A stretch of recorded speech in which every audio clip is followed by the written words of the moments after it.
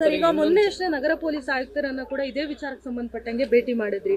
ಆ ಸಮಯದಲ್ಲಿ ಏನ್ ಹೇಳಿದ್ರು ಅಂತ? ನಮಗೆ ಪೊಲೀಸ್ ಆಯುಕ್ತರು ಏನ್ ಹೇಳಿದ್ರು ಅಂದ್ರೆ ಇದಕ್ಕೆ ಹೋಗಿ ಇಂಟೆಲಿಜೆನ್ಸ್ ಹೋಗಿ ಅಂತ ಹೇಳಿದ್ರು. ನಾವು ಇಂಟೆಲಿಜೆನ್ಸ್ಗೂ ಹೇಳಿದೀವಿ.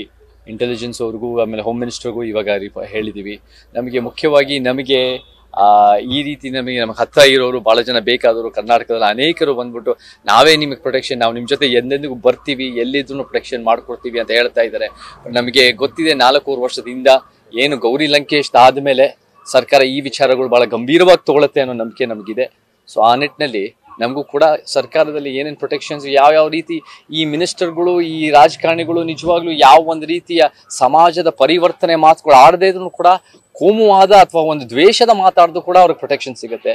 ನಾವು ಸತ್ಯದ ಪರವಾಗಿ ಮಾತಾಡಿದಾಗ ನಮಗೆ ಬೆದರಿಕೆ ಬರ್ತಾ ಇದೆ ಅಂದಾಗ ಪ್ರೊಟೆಕ್ಟ್ ಮಾಡೋದು ಅವ್ರ ಕರ್ತವ್ಯ. ಸರ್ ಈಗ ಮೊನ್ನೆ ಅಷ್ಟೇ ನಗರ ಪೊಲೀಸ್ ಆಯುಕ್ತರನ್ನ ಕೂಡ ಇದೇ ವಿಚಾರಕ್ಕೆ ಸಂಬಂಧಪಟ್ಟಂಗೆ ಭೇಟಿ ಮಾಡಿದ್ರಿ.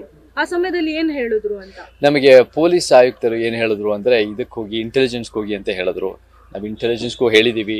ಇಂಟೆಲಿಜೆನ್ಸ್ ಅವ್ರಿಗೂ ಆಮೇಲೆ ಹೋಮ್ ಮಿನಿಸ್ಟರ್ಗೂ ಇವಾಗ ಹೇಳಿದ್ದೀವಿ ನಮಗೆ ಮುಖ್ಯವಾಗಿ ನಮಗೆ ಆ, ಈ ರೀತಿ ನಮಗೆ ನಮಗೆ ಹತ್ತಿರ ಇರೋರು ಭಾಳ ಜನ ಬೇಕಾದವರು ಕರ್ನಾಟಕದಲ್ಲಿ ಅನೇಕರು ಬಂದ್ಬಿಟ್ಟು ನಾವೇ ನಿಮಗೆ ಪ್ರೊಟೆಕ್ಷನ್ ನಾವು ನಿಮ್ಮ ಜೊತೆ ಎಂದೆಂದಿಗೂ ಬರ್ತೀವಿ ಎಲ್ಲಿದ್ರು ಪ್ರೊಟೆಕ್ಷನ್ ಮಾಡಿಕೊಡ್ತೀವಿ ಅಂತ ಹೇಳ್ತಾ ಇದ್ದಾರೆ. ನಮಗೆ ಗೊತ್ತಿದೆ ನಾಲ್ಕೂರು ವರ್ಷದಿಂದ ಏನು ಗೌರಿ ಲಂಕೇಶ್ ಆದಮೇಲೆ ಸರ್ಕಾರ ಈ ವಿಚಾರಗಳು ಭಾಳ ಗಂಭೀರವಾಗಿ ತಗೊಳತ್ತೆ ಅನ್ನೋ ನಂಬಿಕೆ ನಮಗಿದೆ. ಸೊ ಆ ನಿಟ್ಟಿನಲ್ಲಿ ನಮಗೂ ಕೂಡ ಸರ್ಕಾರದಲ್ಲಿ ಏನೇನು ಪ್ರೊಟೆಕ್ಷನ್ಸ್ ಯಾವ ಯಾವ ರೀತಿ ಈ ಮಿನಿಸ್ಟರ್ಗಳು ಈ ರಾಜಕಾರಣಿಗಳು ನಿಜವಾಗ್ಲೂ ಯಾವ ಒಂದು ರೀತಿಯ ಸಮಾಜದ ಪರಿವರ್ತನೆ ಮಾತುಗಳು ಆಡದೇ ಇದ್ರೂ ಕೂಡ ಕೋಮುವಾದ ಅಥವಾ ಒಂದು ದ್ವೇಷದ ಮಾತಾಡಿದ್ರು ಕೂಡ ಅವ್ರಿಗೆ ಪ್ರೊಟೆಕ್ಷನ್ ಸಿಗುತ್ತೆ. ನಾವು ಸತ್ಯದ ಪರವಾಗಿ ಮಾತಾಡಿದಾಗ ನಮಗೆ ಬೆದರಿಕೆ ಬರ್ತಾ ಇದೆ ಅಂದಾಗ ಪ್ರೊಟೆಕ್ಟ್ ಮಾಡೋದು ಅವ್ರ ಕರ್ತವ್ಯ.